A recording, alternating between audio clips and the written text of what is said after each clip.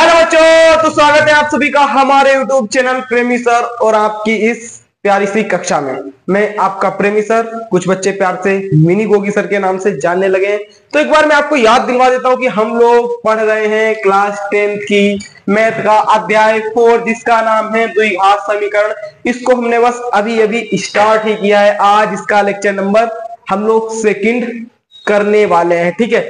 मैंने आप सभी को लेक्चर नंबर फ़र्स्ट में इस चैप्टर में हमें क्या क्या पढ़ना है, सारी बुनियादी बातें, ठीक है? वो सारी मैंने आपको लेक्चर नंबर फ़र्स्ट में बताई है। जिस भी बच्चे ने हमारा लेक्चर नंबर फ़र्स्ट नहीं देखा है तो प्लीज़ मैं उससे रिक्वेस्ट कर रहा हूँ, एक बार हमारा फ़र्स्ट लेक्चर ज़रूर देख ले। क्योंकि किसी भी चैप्टर को तैयार करने का जो सबसे बेस्ट तरीका है जो कहना चाहिए, जब चैप्टर हमें समझ में आता है तो वो हमारा फ़र्स्ट लेक्चर होता है, ठीक है? यदि आपने हमारा फ़र्स्ट लेक्चर नहीं देखा है तो आपको चैप्टर समझ में नहीं आएगा, ठीक है? कल मैंने सारा बेसिक बताया था आपको कि हमें जो हमारी चार प्रश्नावली है, इसमें हमें क्या क्या पढ़ना है, कौन सी प्रश्नावली में क्या पढ़ना है, कौन सी प्रश्नावली में क्या पढ़ना है, यानी कि पहले चैप्टर में ही सॉरी पहले लेक्चर में ही मैंने पूरे चैप्टर का समराइज आपके जेब में डाल दिया था।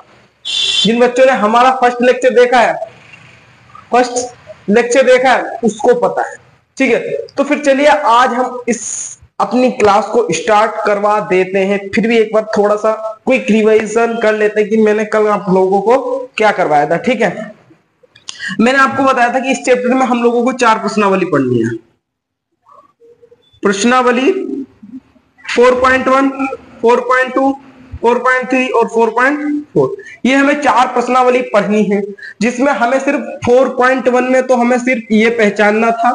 ये पहचानना था कि भैया द्विघात समीकरण क्या होता है। ये मैंने क्वेश्चन नंबर आपको वन कल ही कंप्लीट करवा दिया था। ठीक है, हम लोग क्वेश्चन नंबर वन कंप्लीट कर चुके थे फोर पॉइंट वन का। आज हम लोग करने वाले हैं question number second question number आज हम लोग करेंगे क्वेश्चन नंबर सेकंड जो मोस्ट इंपोर्टेंट है, बहुत मज़ा आने वाला है। ठीक है बस आप लोग जुड़े रहिए। मज़ा ना आ गया फील ना आ गया तो मेरी गारंटी है। ठीक है? क्वेश्चन नंबर फ़र्स्ट कर लिया था। क्वेश्चन नंबर आज हम लोग सेकंड करने वाले हैं। और प्रश्नावली दो चार दशमलव दो में हम लोग क्या पढ़ेंगे? कि जो भी हमारे द्विघात समीकरण है, द्विघात समीकरण है, वो कैसे सोल्व करते हैं? तो सोल्व करने की हम लोग विधियाँ पढ़ेंगे, जिसमें इसमें हम लोग पढ़ेंगे गुणनखंड विधि फोर पॉइंट थ्री में पढ़ने वाले हम लोग गुण वर्ग विधि, श्री धाराचार्य का सूत्र पढ़ेंगे इसमें, ठीक है? और इसमें हम लोग मूल की प्रकृति पढ़ेंगे। ये मैंने आपको कल बता दिया था, फिर भी मैंने आपको शॉर्ट में ये सब बातें बता दी है, ठीक है? यदि हमारा फ़र्स्ट लेक्चर नहीं देखा है तो प्लीज़ देख लीजिए जाके, वरना मज़ा नहीं आएगा, ठीक है? कोई भी चीज़ को जब हम शुरू से करते हैं ना तो बिल्कुल हमें आनंद की अनुभूति होती है। चलो ठीक है, अब हम लोग स्टार्ट करते हैं। क्वेश्चन नंबर आज हम लोग सेकंड करने वाले हैं। फोर पॉइंट वन का आज हम लोग क्वेश्चन नंबर सेकंड करने वाले हैं। कल मैंने आपको फ़र्स्ट करवा दिया था। ठीक है? चलो। अब फटाफट हम लोग स्टार्ट कर लेते हैं। और उससे पहले एक इंपॉर्टेंट बात।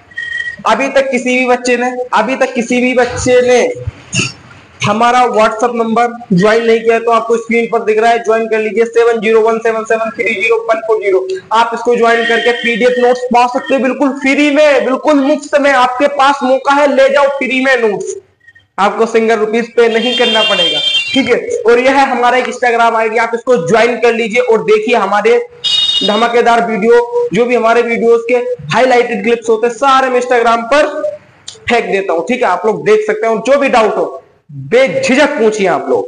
डाउट को तो मैं बिल्कुल काट काट के बताऊँगा आप लोगों को, ठीक है? और ये हमारा टेलीग्राम चैनल इसको भी फटाफट ज्वाइन कर लो। जो भी इंफॉर्मेशन होती है ना क्लास की, वो सब मैं टेलीग्राम पर डाल देता हूँ, ठीक है? किसी दिन कुछ इशू के कारण हमारी क्लासेस नहीं चल पाती है तो मैं टेलीग्राम पर लिख देता हूँ टेलीग्राम पर, जिससे कि आप लोगों को इन्फॉर्म इन्फॉर्म हो जाते हैं और आप लोग उस दिन अपना पढ़ते रहते हैं। ठीक है? चलो फिर, अब हम लोग स्टार्ट करते हैं। क्वेश्चन नंबर सेकंड प्रश्नावली कौन सी है भैया हमारी है? प्रश्नावली प्रश्नावली 4.1 का आज हम लोग करने वाले हैं क्वेश्चन नंबर सेकंड। कौन सा करने वाले बच्चा क्वेश्चन नंबर सेकंड का फ़र्स्ट करते हैं? चलो पहले, क्वेश्चन नंबर सेकंड का फ़र्स्ट फ़र्स्ट फ़र्स्ट फ़र्स्ट, इसको इधर लिख देता हूँ। क्वेश्चन नंबर सेकंड का फ़र्स्ट। देखो क्या है। सभी लोग, आप अपनी बुक में रीड करिए, मैं आपको यहाँ से रीड कर लेता हूँ, ठीक है? आप लोगों को अपनी बुक से रीड करना है, मैं यहाँ से रीड करता हूँ। ठीक है, दोनों साथ साथ में करें, बहुत मज़ा आने वाला है। देखिए, निम्न स्थितियों को द्विघात समीकरण के रूप में निरूपित करना है। सिर्फ़ हमें द्विघात समीकरण बनाकर छोड़ देना है, हमारा काम हो गया। क्या समझे? सिर्फ़ हमें जो भी हमें क्वेश्चन दे रखे हैं, उसमें सिर्फ़ हमें द्विघात समीकरण बना देना है और छोड़ देना इस प्रश्नावली हम सोल्व करना नहीं सीखेंगे। इससे अगली प्रश्नावली में हम लोग सीखेंगे गुणनखंड विधि। ठीक है? जब मैं आपको गुणनखंड विधि बनाऊँगा तो एक मैं आपके लिए सेपरेट वीडियो बनाऊँगा, जिसमें टोटल पीएस लॉजिक होगा। प्रेमी सर का लॉजिक होगा कि कैसे हम लोग गुणनखंड विधि द्वारा किसी भी द्विघात समीकरण को सोल्व करते हैं। ठीक है? चलिए फिर अब हम लोग क्वेश्चन नंबर सेकंड का फ़र्स्ट पार्ट पढ़ते हैं। एक आयताकार भूखंड का क्षेत्रफल 528 मीटर वर्ग है। ठीक है। क्षेत्रफल की लंबाई मीटरों में है। ठीक है भाई। चौड़ाई के दुगने से, चौड़ाई के दुगने से एक अधिक है। हमें भूखंड की लंबाई और चौड़ाई ज्ञात करनी है। भूखंड की लंबाई और चौड़ाई ज्ञात करनी है। सुनो सुनो सुनो सुनो गाँव वालों, क्या कह रही है? एक भूखंड है। भूखंड बोले तो? भूखंड, भू मतलब? भू मतलब? भूमि, खंड मतलब कोई भी मतलब एरिया ठीक है? भूखंड है। ठीक है? एक खाली स्थान पड़ा है, समझ लीजिए। ठीक है? उसकी लंबाई चौड़ाई ये है। एक आयताकार है ना? आयताकार ये है, ठीक है? भूखंड है। भाई, बना लिया। इसका जो क्षेत्रफल है ना, इसका जो क्षेत्रफल है वो 528 मीटर स्क्वायर है। इसका क्षेत्रफल इतना है। अब क्या कह रहा है कि क्षेत्रफल की लंबाई है ना जो जो क्षेत्रफल की लंबाई है ये वाली जो क्षेत्रफल की लंबाई है, वो चौड़ाई के, वो चौड़ाई के दो गुणों से एक ज़्यादा है। वो चौड़ाई के दो गुणों से एक ज़्यादा है। तो हम लोग क्या कर लेते हैं ना? मोस्ट इंपॉर्टेंट इसका चित्र है, पहले चित्र आप लोग समझ लीजिए। हम लोग क्या करते हैं? इसकी चौड़ाई को हम लोगों ने एक्स मान लिया। चौड़ाई को एक्स मान लिया। अब क्या कह रहा है? लंबाई चौड़ाई के दो गुने से एक अधिक है। लंबाई, चौड़ाई क्या? एक्स मान लिया। लंबाई एक्स से एक्स से दो गुने। लंबाई एक्स के दो गुने से एक अधिक है। दो गुने मतलब कि टू एक्स टू एक्स और एक ज़्यादा है मतलब प्लस हो जाएगा। तो जो चौड़ाई हमारी निकल के आ गई, वो क्या आएगी? टू एक्स प्लस एक। जो लंबाई है जो लंबाई है, वो चौड़ाई के, चौड़ाई को हमने एक्स मान रखा, वो चौड़ाई के दो गुने से एक ज़्यादा है। समझो, जो लंबाई है, जो लंबाई है, वो चौड़ाई के दो गुने से एक ज़्यादा है। इतना आ गया समझ में, इतना आ गया समझ में ये बता दीजिए। इतना किस किस के समझ में आ गया? इतना किस किस के समझ में आ गया? ठीक है, इतना आ गया समझ ये तो था टोटल चित्र के बारे में। ठीक है? अब हम लोग इसको हम लिख लेते हैं और इसको सोल्व करते हैं, समीकरण बनाते हैं। हम यहाँ लिख लेंगे माना, हम तो मान लेते हैं मैथ वाले, भगवान से ऑर्डर मिला है। माना, आयताकार भूखंड की चौड़ाई को मान लेते हैं ना? माना, आयत की चौड़ाई, क्या मान लिए? एक्स ठीक है? और और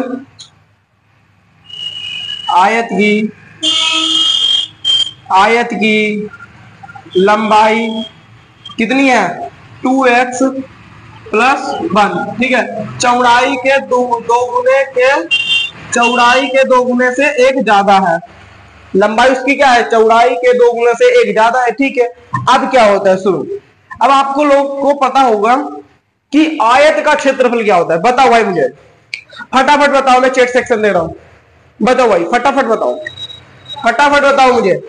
मुझे आंसर चाहिए। ठीक है, आंसर चाहिए मुझे।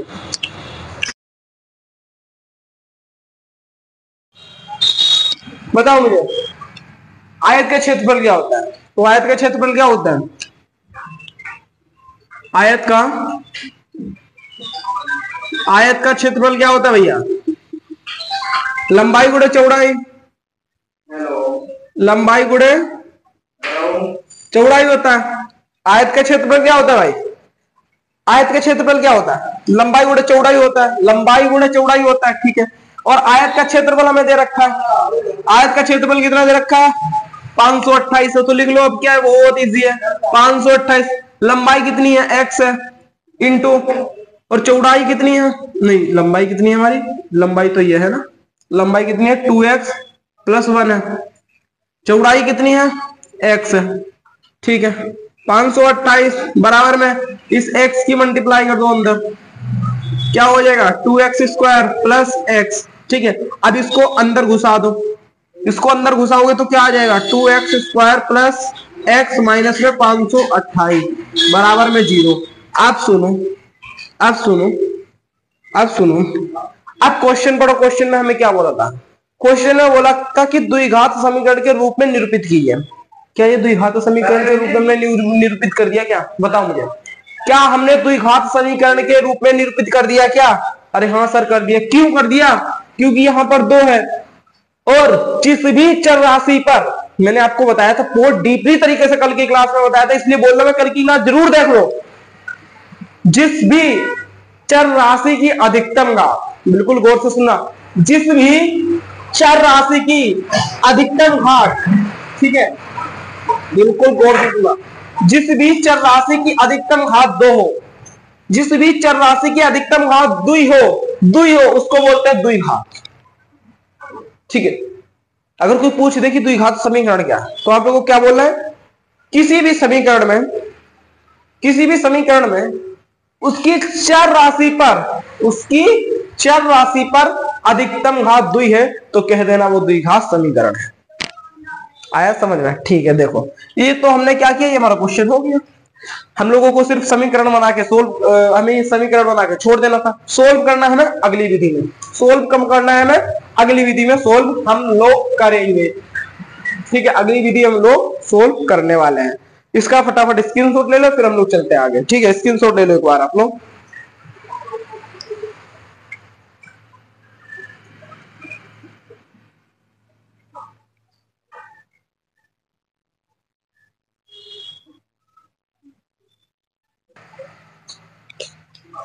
चलो, ले लिया स्क्रीनशॉट ठीक है, अब हम लोग चलते हैं सेकंड क्वेश्चन देख लेते हैं। अब हम लोग सेकंड क्वेश्चन देख लेते हैं, ठीक है? ये क्वेश्चन आप लोगों को बोर्ड एग्ज़ाम में दिख सकते हैं दो दो मार्क्स में ठीक है? तो आप लोगों को बिल्कुल ध्यान से पढ़ना पड़ेगा, ध्यान से पढ़ना पड़ेगा। चलो, अब देखते हैं second question second question second question क्या है? आप अपनी बुक में रीड करिए। दो क्रमागत धनात्मक पूर्णांकों का गुणनफल 306 है। क्या बोल रहा है? ध्यान से पढ़िए से दो है क्रम, क्रमागत धनात्मक पूर्णांकों का गुणनफल 306 है। हमें पूर्णांकों को ज्ञात करना है। हमें क्या करना है? पूर्णांकों को ज्ञात करना है। वो हमारी क्या है? ठीक है।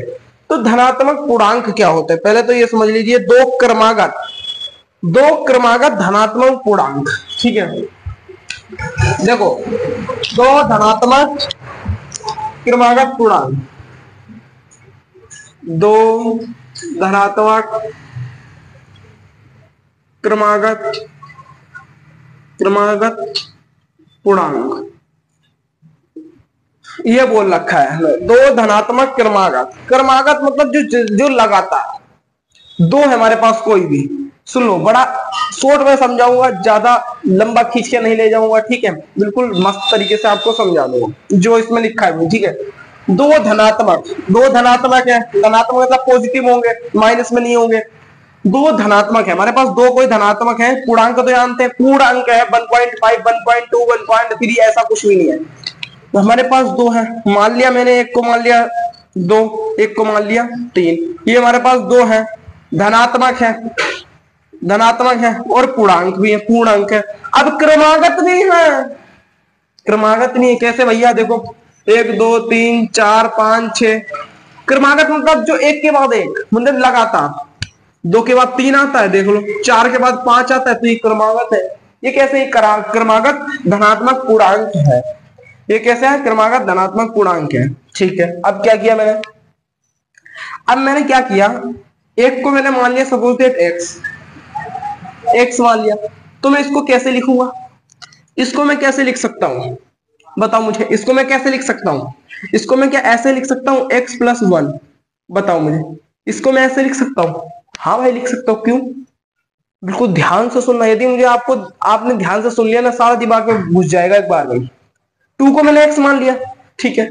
अब मैं थ्री को एक्स प्लस वन लिख सकता हूँ? लिख सकता हूँ, क्योंकि टू की एक्स की वैल्यू कितनी है? टू है। और प्लस वन बराबर में कितना आ गया? तीन। तीन। तो मैं तीन को ऐसे लिख सकता हूँ ना? बिल्कुल लिख सकता हूँ। तीन को मैं ऐसे बिल्कुल लिख सकता हूँ। ठीक है? तो ये समझाना चाह रहा था। तो अब हम लोग क्या मान लेंगे? अब हम लोग क्या मान लेते हैं? माना धनात्मक क्रमांक माना माना दो धनात्मक क्रमागत पूर्णांक। एक्स तथा। एक्स प्लस वन है। मान सकते हैं भाई? मान सकते हैं ना? अभी तो बोला है मैं बोला है ना? ठीक है। अब क्या बोल रहे हैं? दो क्रमागत धनात्मक पूर्णांकों का गुणनफल 306 है। चलो। हमें क्या दिया है इसने? हमें दिया है जो हमारे धनात्मक क्रमागत गुणांक है, उनका गुणनफल। इसका और इसका गुणनफल। X x प्लस वन का गुणनफल कितना है? 306 है। ये बोला है। जो स्टेटमेंट में लिखा है ना, वो हमने यहाँ लिख दिया। दो धनात्मक क्रमागत पूर्णांकों का गुणनफल। इन दोनों का गुणनफल कितना है? तीन सौ छह। भाई, हमने लिख दिया, ठीक है। अब इसको हम लोग सोल्व कर लेते हैं। अब इसको हम लोग सोल्व कर लेते हैं। इसकी अंदर मल्टीप्लाई इधर भी मल्टीप्लाई तो एक्स स्क्वायर प्लस एक्स बराबर में तीन सौ छह, ठीक है? अब तीन सौ छह को इधर ले आएँगे, इधर माइनस में आ जाएगा। X square plus x minus के तीन सौ छह बराबर में कुछ भी नहीं, बराबर में ज़ीरो आ गया। आंसर बन गए हीरो आया मज़े में बराबर में कुछ भी नहीं आ गया। आंसर बन गया हीरो। ठीक है? बराबर में ज़ीरो है। लो, हो गया। द्विघात समीकरण हमने निरूपित कर दिया। बताओ मुझे इसमें कुछ है क्या? इसमें कुछ है। कुछ भी नहीं इसमें। सिर्फ़ आप लोग थोड़ा अपना माइंड लगा लीजिए, इसमें कुछ भी नहीं है। ठीक है? नोट कर एक बार इसको। स्क्रीन शॉट ले लो, अगर लेना चाहते हो। फिर हम लोग चलते हैं अगले क्वेश्चन पर। ठीक है? अगला क्वेश्चन पर चलते हैं हम लोग। यही पे कर दूँगा अगला क्वेश्चन भी। ले लिया स्क्रीन शॉट अब देखो अगला क्वेश्चन यही कर देते हैं हम लोग। अगला क्वेश्चन मतलब थर्ड क्वेश्चन ये वाला क्वेश्चन मैंने जो है, रोहन की माँ उससे 26 वर्ष बड़ी है। उनकी आयु वर्षों में का गुणनफल। अब से तीन वर्ष पश्चात 360 हो जाएगी हमें रोहन की वर्तमान आयु ज्ञात करनी है। ये वाला क्वेश्चन मैंने आपको चैप्टर नंबर थ्री में भर भर के करवाया है। पता नहीं कितनी बार करवाया मैंने बहुत बार करवा चुका है, ठीक है? तो इसमें सबसे पहले हम लोगों को करेक्टर देखने पड़ते हैं। तो क्या है? एक तो रोहन है, एक रोहन की माँ है। तो यहाँ लिख लो, रोहन है और कौन है? रोहन की माँ। अब कॉलम बना देने हमें। यहाँ पर वर्तमान आयु। वर्तमान आयु। और क्या? वर्तमान आयु। ठीक है, उनकी आयु का गुणनफल अब से तीन वर्ष पश्चात आयु। तीन वर्ष बाद। ठीक है, और क्या बोल रहा है? तीन वर्ष बाद कितनी हो जाएगी, है ना? तीन वर्ष बाद। चलो, अब क्या करना है पड़ना है पड़ता है मैं सुन लो, ये टेबल मैंने आपको ही बताया था। ये हमारा पीएस लॉजिक पीएस लॉजिक मैंने आपको बताया था। ये है PS logic hashtag PS logic ठीक है? ये है पीएस लॉजिक मैंने आपको बताया था, बिल्कुल मज़ा वाला ट्रिक है ये। रोहन की वर्तमान आयु एक्स मान लो। ठीक है। अब क्या बोला, सुनो। रोहन की आयु में ज्ञात करनी तो रोहन की आयु को हमने एक्स मान लिया। अब बोला, रोहन की माँ उससे 26 वर्ष बड़ी है। रोहन की माँ उससे 26 वर्ष बड़ी है। रोहन मतलब एक्स रोहन मतलब एक्स मतलब से एक्स से 26 ज़्यादा एक्स से 26 ज़्यादा, यानी कि एक्स प्लस छब्बीस है। एक्स प्लस छब्बीस है। क्या है एक्स प्लस एक्स प्लस छब्बीस है, ठीक है। अब तीन वर्ष बाद, तीन वर्ष बाद क्या बोला है? तीन वर्ष पश्चात, तीन सौ पश्चात तीन सौ साठ हो जाएगी। ठीक है, तीन सौ वर्ष मतलब इसका गुणनफल है। तीन सौ वर्ष बाद क्या हो जाएगा भैया? इसमें तीन ऐड हो जाएँगे। इसमें भी तीन सौ वर्ष बाद क्या हो जाएगा? इसमें तीन तीन इसमें ऐड हो जाएँगे। छब्बीस प्लस तीन। ए भैया बंजारे परेशान काय को करता है। तो ये हमारी टेबल बन गई। ये हमने छुटकी मुटकी सी टेबल बना ली और यही क्या है? पीएफ लॉजिक है। ये हमारा पीएस लॉजिक है, ठीक है? अब उसने क्या दिया है, देखो। दिया है हमको कुछ अच्छी अच्छी चीज़ें। बोला है, उसने बोला है हमको, ठीक है, उनकी आयु का गुणनफल। अब से तीन वर्ष पश्चात 360 हो जाएगी। उनकी आयु का गुणनफल मतलब एक ये और एक किस किस की? ये एक ये एक ये। उनकी आयु मतलब इन दोनों की आयु का गुणनफल एक्स प्लस तीन एक्स प्लस छब्बीस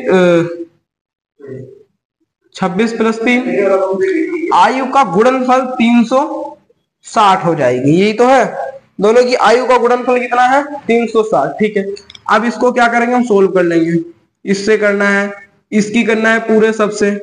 ठीक है, फिर इसकी करना है इससे इससे इससे। चलो कर लेते हैं। एक्स स्क्वायर प्लस रुक जाओ भैया, रुक जाओ रुक जाओ रुक जाओ रुक जाओ। सुनो सुनो सुनो सुनो सुनो सुनो। क्या करते हैं ना हम लोग? पहले इसको सोल्व कर लेते हैं। एक्स प्लस तीन, ठीक है। एक्स प्लस छब्बीस, तीन, उनतीस। आप करते हैं, तीन सौ साठ। अब इसको इससे इससे इससे, क्या हो जाएगा? एक्स स्क्वायर प्लस उनतीस एक्स प्लस तीन एक्स प्लस उनतीस तिया, नौ दुनिया अठारह नौ तिया, सत्ताईस के साथ हासिल, लगा दो, तीन दुनी, छह दो छह दो, आठ, ठीक है, बराबर में तीन सौ साठ। देखो, यही तो है भाई, यही तो है। अब क्या करेंगे, इन, इनको हम लोग ऐड कर लेंगे। तो एक्स स्क्वायर प्लस उनतीस तीन, बत्तीस एक्स बत्तीस एक्स प्लस सतासी इधर ले आएँगे माइनस तीन सौ साठ बराबर में ज़ीरो। अब एक्स स्क्वायर प्लस बत्तीस एक्स बत्तीस एक्स माइनस के घटा दो भाई। तीन सौ साठ में से सतासी घटाएँगे। तीन सौ साठ में से सतासी घटाएँगे, दो सौ तिहत्तर बचेंगे बराबर में ज़ीरो। हो गया क्वेश्चन सोल्व ठीक है? चाहे घटा के देख लो तो मैं बता दे रहा हूँ सतासी। दस में से सात गए, कितने बचेंगे तीन। सात में से आठ गए, सात में से नहीं नहीं नहीं नहीं नहीं नहीं, नहीं अच्छा। अच्छा अच्छा अच्छा। यहाँ पर पाँच बचे पंद्रह में से आठ गए। पाँच पंद्रह में से आठ गए भैया। सात ठीक है और दो का दो आ गया। दो सौ तिहत्तर दो सौ तिहत्तर बिल्कुल सही है। ठीक है तो ये हमारा हो गया क्वेश्चन तीसरा क्वेश्चन दूसरा क्वेश्चन हो गया ये तीसरा क्वेश्चन हो गया। ये आयु वाले आपको आगे भी अभी मिलेंगे। ठीक है तीसरे क्वेश्चन में हमने आपको भर भर के क्वेश्चन करवाए हैं। ठीक है, फटाफट इसका स्क्रीन लेंगे सभी बच्चे। फटाफट इसका स्क्रीन लेंगे। फिर हम लोग देखते हैं फोर्थ क्वेश्चन जो फोर्थ क्वेश्चन है, बहुत इंपॉर्टेंट क्वेश्चन है। फोर्थ क्वेश्चन बहुत इंपॉर्टेंट क्वेश्चन है। ठीक है? आप लोग फटाफट देखेंगे इसको। ठीक है? इसका एक बार स्क्रीन शॉट ले लो आप लोग।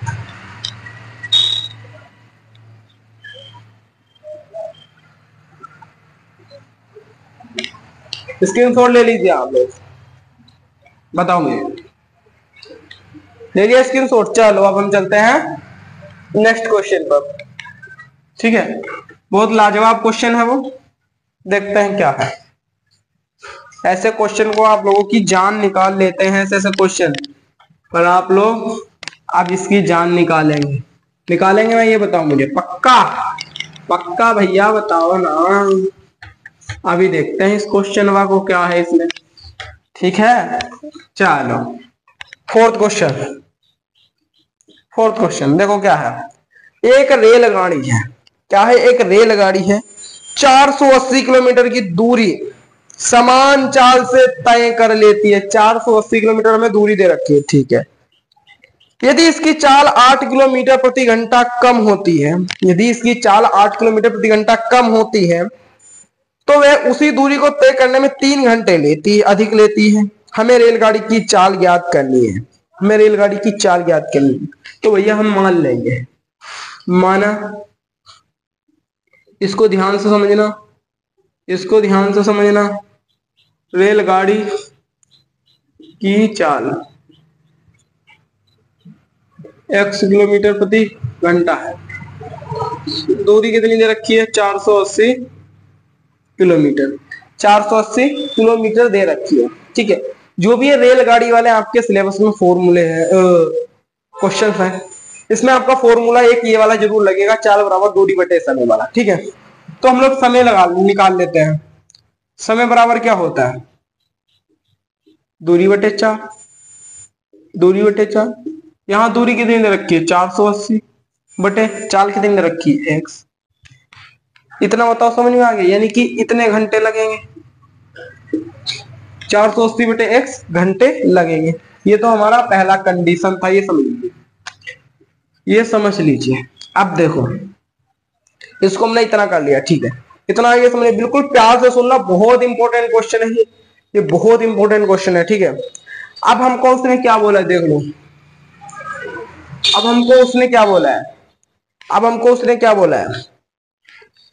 दूरी समान चाल से तय करती है, ठीक है। यदि इसकी चाल, यदि इसकी चाल आठ किलोमीटर प्रति घंटा कम होती है, यदि इसकी चाल, हमने एक्स मान लिया है, चाल को क्या मान लिया है? एक्स मान लिया है, ठीक है। यदि इसकी चाल आठ किलोमीटर प्रति आठ किलोमीटर प्रति घंटा कम होती है, इनकी एक्स में से आठ को घटा देंगे, सुनो क्या बोला है। इसने क्या दिया है?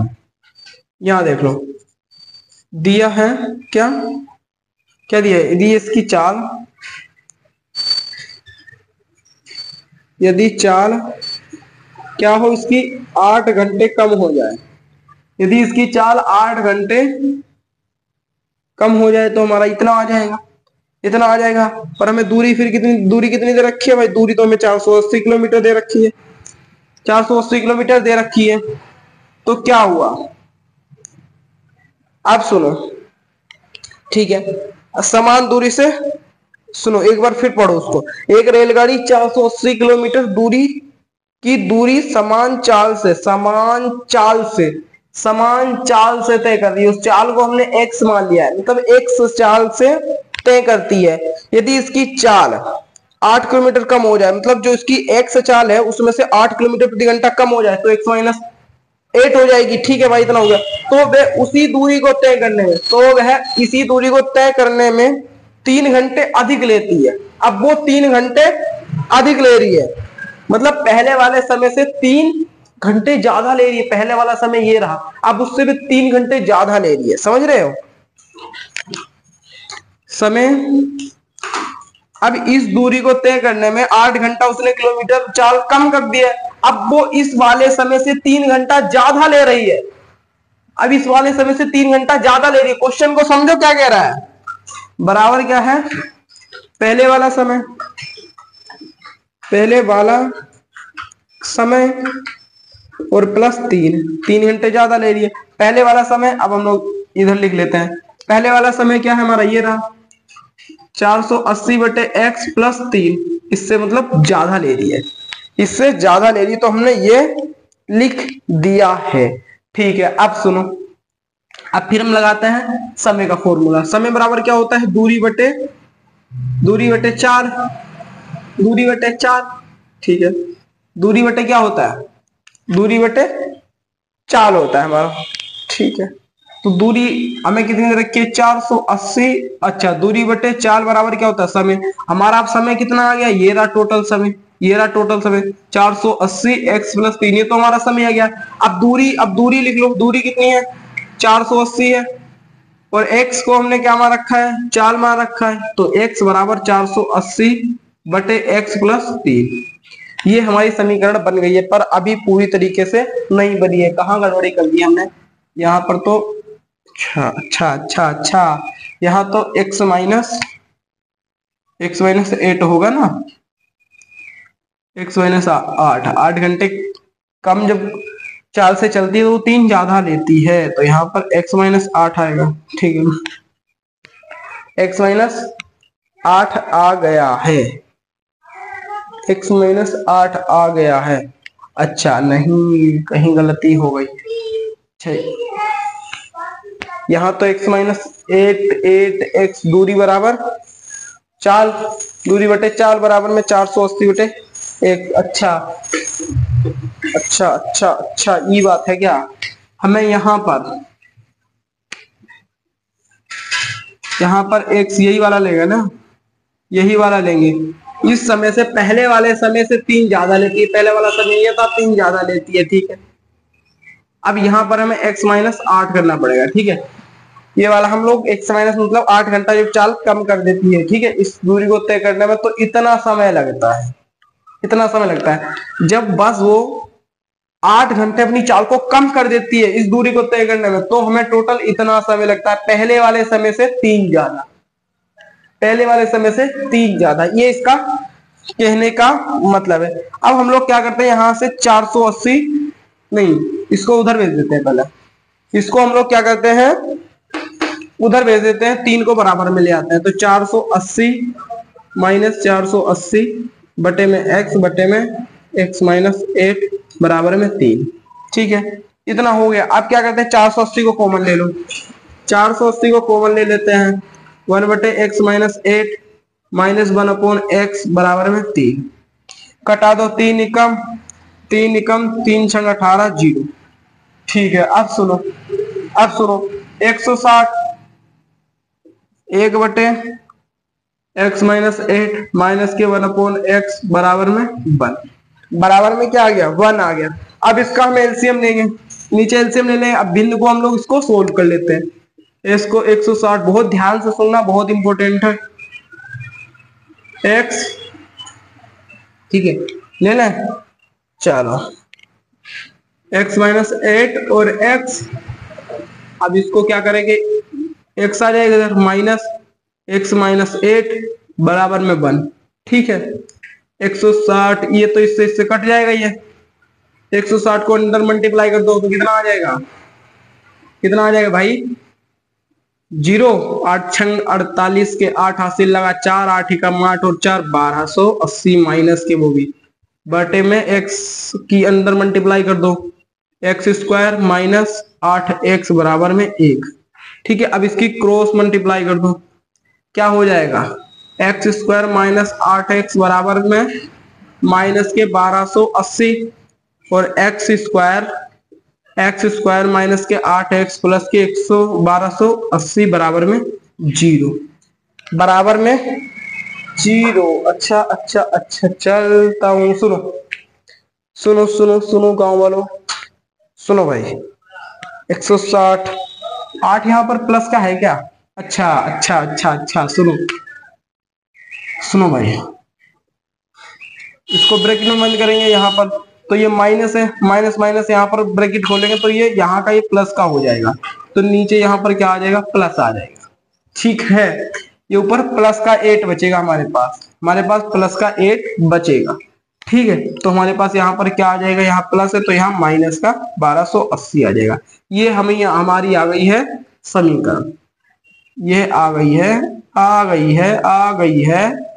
समीकरण वाह समीकरण। आ रहा ये हमारी समीकरण है।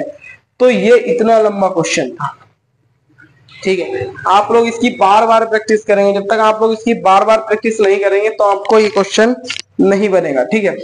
एक बार आप लोग इसको घर पे बनाकर देखना ठीक है। जिस बच्चे को देखना है, एक बार वो देख लो। ठीक है। भाई, राल एक रेलगाड़ी थी। वो समान चाल से चल रही थी, समान चाल को हमने एक्स किलोमीटर प्रति घंटा मान लिया, ठीक है? दूरी है चार सौ अस्सी किलोमीटर।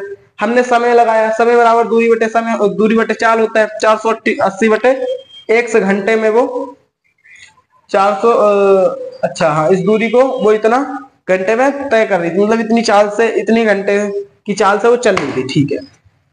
अब देखो, यदि चाल बराबर, यदि बोल रहा है, यदि यदि जो हमारी चाल है, उसमें से हम लोग आठ किलोमीटर प्रति घंटा चाल को कम कर दें। जो हमारी समान चाल है, उसको हमने एक्स मान दिया था। अब उसमें से बोल है उस बस की आठ किलोमीटर प्रति घंटा कम कर दो। तो मतलब एक्स माइनस एट कर दो, ठीक है? उसी दूरी को तय करने में आप समय कितना लगेगा? पहले समय इतना लग रहा था आप समय कितना लगेगा? अब बोल रहा है, जो पहले वाला समय है ना, ये वाला, उससे तीन ज़्यादा लगेगा। जो हमारा पहले वाला समय है ना, उससे तीन ज़्यादा लगेगा। पहले वाला समय क्या है? पहले वाला समय ये है। पहले वाला समय क्या है भाई मेरा पहले वाला समय यह है तो यहाँ पर एक्स आएगा ना। पहले वाला समय यह है तो इससे तीन ज़्यादा लगेगा। ठीक है तो दूरी बराबर क्या होता है? चाल बराबर। समय हमारा कितना लग रहा है? इतना लग रहा है टोटल समय। पहले वाले पहले वाले समय से तीन ज़्यादा लग रहा है, ठीक है। दूरी कितनी है? चार सौ अस्सी। और चाल अब कितनी हो गई है? एक्स माइनस एट और पहले वाले समय से तीन ज़्यादा।